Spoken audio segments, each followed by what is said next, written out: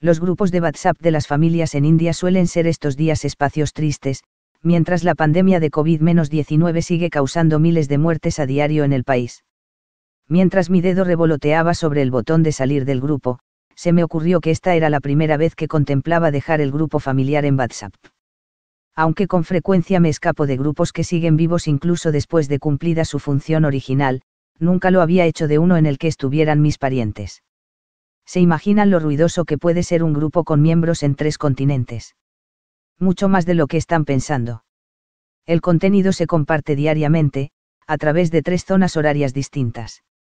Cuando la delegación con base en India se va a dormir, el batallón en Estados Unidos toma el relevo para asegurar un flujo constante de memes, videos de los sobrinos y de vez en cuando opiniones expertas sobre grandes asuntos globales, como elecciones o el divorcio de algún personaje famoso. Suelo ser alguien que responde, enviando con frecuencia emojis en forma de corazón sobre las fotos de los niños o de las mascotas. No era de las que suele empezar una conversación. Hasta hace un par de semanas, cuando compartí en el grupo familiar la foto de la portada del New York Times del pasado 26 de abril. India era el asunto principal, con una foto aérea de decenas de piras funerarias que contemplaban un puñado de deudos con equipos de protección. El titular afirmaba, las cremaciones nunca terminan. Otro miembro de la familia siguió con un enlace a un artículo australiano que acusaba al primer ministro Narendra Modi de llevar a India hacia lo que llamaba un apocalipsis. Fue entonces cuando un primo que vive en el país intervino. Todos los países han sufrido y ningún gobierno ha manejado esto con éxito, escribió. Y los medios están en su mayoría sesgados en todo el mundo tienen su propia agenda. Otro primo siguió con un meme. Decía, el mundo entero está preocupado por India.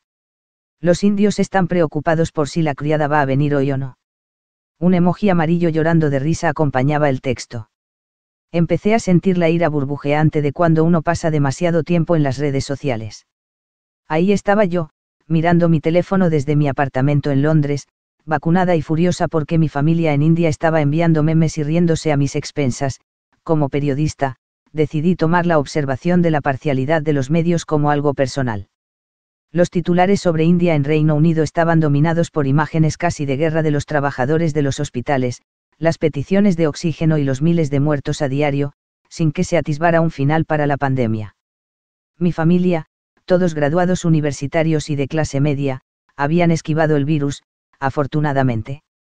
Muchos titulares sugerían que la crisis de COVID-19 en India había dejado a los pobres en una situación especialmente vulnerable, aunque, por supuesto, mucha gente rica dijo que no había encontrado cama en ningún hospital, incluido el ex embajador de India en Brunei, Mozambique y Argelia, Aokam Roy, que murió en abril en el aparcamiento de un hospital mientras esperaba a ser admitido. De acuerdo con el Movimiento Nacional de Empleados Domésticos, más de 4 millones de personas trabajan como asistentes en los hogares más acomodados del país, como el de mi familia.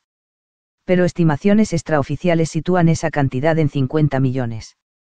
Mis colegas desde Delhi informaban que la gran mayoría de estos trabajadores habían perdido sus empleos.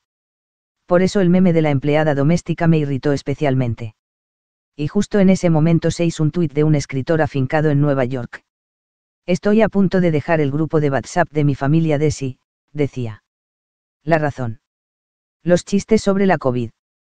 Después de una breve búsqueda en las redes, encontré que un número considerable de usuarios de WhatsApp no se identificaba con las bromas de su familia sobre la COVID-19, y que la mayoría eran indios. India, con unos 340 millones de usuarios activos, es el mayor mercado para WhatsApp. Los indios forman también la mayor diáspora del mundo. Según datos de la ONU, 18 millones de indios viven en el extranjero. Tiene mucho que ver con diferencias en la perspectiva, asegura el doctor Charusmita, un investigador residente en Delhi. Si ese mismo meme se lo enviaran a otra persona de clase media que viva en India, muy probablemente lo hubiera visto de manera diferente. No se trata de deshumanizar el servicio doméstico, sino más bien de burlarse de sus propios privilegios para algunos es una forma bastante inocente de encontrar algo de alivio en medio de una catástrofe de gran escala, señala. Algunos recurren a ese humor que circula en WhatsApp y otros lo encuentran repugnante. Pero la gente que vive en el país no toma a bien que se les recuerde las diferencias en sus modos de vida y valores, ya que sienten que los tratan con condescendencia, cree el experto. Charusmita me dijo que le habían enviado varios memes con los que una audiencia occidental, así como la diáspora, no podía identificarse, incluyendo caricaturas de personas tomándose selfies con pacientes moribundos, una burla sobre cómo la muerte era ahora una mercancía para las redes sociales. También hay versiones más suaves del humor cotidiano de los confinamientos que causan menos controversia en los grupos familiares de WhatsApp. Uno mostraba una foto del primer ministro Modi realizando la respiración de yoga de una fosa nasal, el Nadi Sodana Pranayama, con un comentario que decía, Modiji, respirando por una fosa nasal para que los demás reciban más oxígeno. Se ha hablado mucho sobre la desinformación que abunda en los grupos de WhatsApp indios, pero no tanto sobre el humor negro que hay allí, dice el Dr. Rohit Dasgupta, de la Universidad de Glasgow, especializado en cultura digital india. Cuando nos reímos, hay esperanza, y la esperanza desvía el dolor. Parte del dolor también proviene de la frustración de ser percibido como un país del tercer mundo cuando, hace apenas unas semanas, India era uno de los principales exportadores de la vacuna de AstraZeneca. Según el gobierno indio, más de 90 países, desde Siria hasta Reino Unido, han recibido vacunas fabricadas en India, que suman más de 60 millones de dosis. Ahí también hay orgullo, considera Dasgupta. Aunque está claro que India necesita ayuda, los indios que viven en el país quieren que se sepa que también pueden ayudarse a sí mismos. Más tarde, quien pasó el meme de la empleada doméstica, mi primo de Kerala me envió un mensaje privado para aclarar que su intención no era en absoluto faltar al respeto a las trabajadoras del hogar indias. Era una broma, dijo, quizá ni siquiera muy divertida, que apuntaba a un futuro más esperanzador, en el que volverían las rutinas familiares. Eran casi las dos de la mañana en India y acababa de regresar de un turno en un hospital donde trabaja como médico de primera línea, atendiendo a pacientes con COVID-19.